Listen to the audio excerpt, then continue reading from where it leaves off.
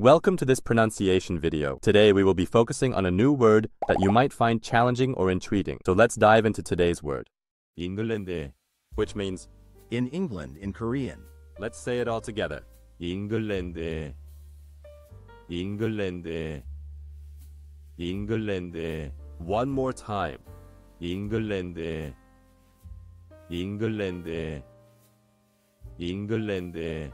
Thank you for joining us on this adventure in pronunciation. Remember, language is a journey, not a destination. Keep exploring, experimenting, and expanding your linguistic horizons. We'll see you next time.